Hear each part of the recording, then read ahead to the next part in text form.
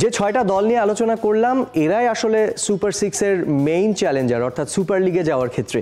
আর এই ছয়টা দল সবচেয়ে শক্তিশালী কাগজে কলমে আমার দৃষ্টিতে অন্ততপক্ষে আমার পিক হিসেবে আমি তাদেরকে এগিয়ে রাখছি। আপনারা ভিন্নমত করতেও পারেন। আর গতবার আমরা দেখেছি যে গাজী গ্রুপ ক্রিকেটার্স তারা যেহেতু মোহামেডানকে ছিটকে দিয়ে স্টার স্টার্টেড মোহামেডানকে ছিটকে দিয়ে ওই জায়গায় পৌঁছে গিয়েছিল, সুতরাং এবারও তো অনেক কিছুই হয়ে যেতে পারে। আমরা একটু লোয়ার টেবিলের দিকে নজর দেবো। আমার দৃষ্টিতে যারা লোয়ার টেবিলে থাকতে পারেন, সেই দলগুলোর দিকে এবং ওই লোয়ার টেবিলের দলগুলোর মধ্য থেকে আবার কেউ চলে যাবেন তিনটা দল রেলিগেশন লিগে এবং ওই তিনের মধ্যে নেমে যাবে দুটো দল।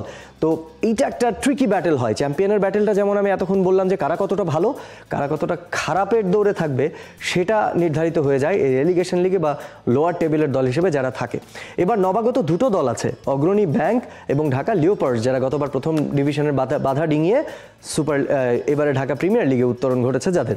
পরীক্ষিত কিছু প্রুভেন পারফর্মারকে নিয়ে অগ্রণী ব্যাংক, তারা তাদের স্কোয়াডটা সাজিয়েছে এবং ওখানে যদি আমরা উল্লেখযোগ্য কিছু নাম দেখি দেখব যে সাদমান ইসলাম অনেক গতবার ব্রাদার্স ইউনিয়নে খেলেছেন, তাকে এবার উড়িয়ে এনেছে তারা অগ্রণী ব্যাংক ক্রিকেট ক্লাবের হয়ে খেলার জন্য। ইলিয়াস সানি, আরাফাত সানি দুজন বাহাতি স্পিনার, দুজনেরই ঠিকানা অগ্রণী ব্যাংক এবং তারা এখনও আমি বলতে পারি এই বয়সেও ডোমেস্টিক ক্রিকেটের অন্যতম শক্তিশালী ফোর্স হিসেবে এই দুজন, এই duo Marshall Ayub experienced player he is the captain of Agrani Bank Cricket Club এবং এই দলটার শক্তি অনেক কিছু নির্ভর করবে মার্শাল আইবের ব্যাটে।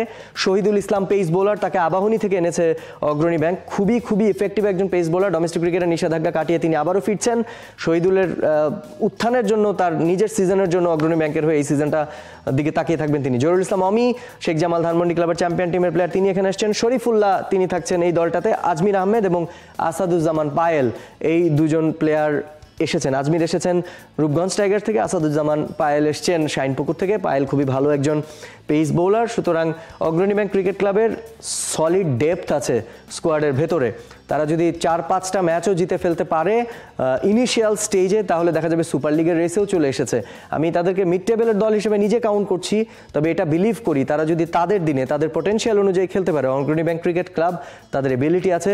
সুপার লিগের প্রথম যে ছয়টা দলকে আমি পিক করেছি, তাদেরকে ডিঙিয়ে ওই জায়গাটায় নিয়ে নেওয়ার।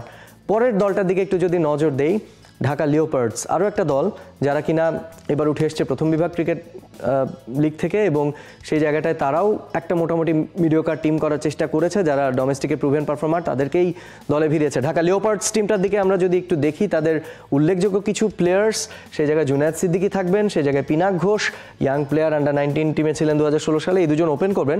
Rakibul Hasan top order batter Sohrawardi Shuvo allrounder Delwar Hossain pace bowler Salauddin Shakil, অর্থাৎ পেস ইউনিটটা খুবই ভালো, দেলোয়ার শাকিলের মতো দুজন কার্যকর পেস বোলার আছে ঢাকা লিওপার্ট টিমটায় অর্থাৎ এই টিমটার দিকে একটু নজর রাখতেই হবে এবং তারাও যদি সারপ্রাইজ করে দেয় কাউকে যদি ছয় সাথে ফিনিশ করে ফেলে সুপার লিগে কোয়ালিফাইও করে ফেলে সেটাও হবে চমকপ্রদ দেখাটা তাদেরকে সুপার লিগে কোয়ালিফাই করতে দেখাটা For more updates, subscribe to our YouTube channel and click on the bell icon. Follow us on Facebook and Instagram. Download T Sports app to enjoy exciting games and highlights. Visit tsports.com.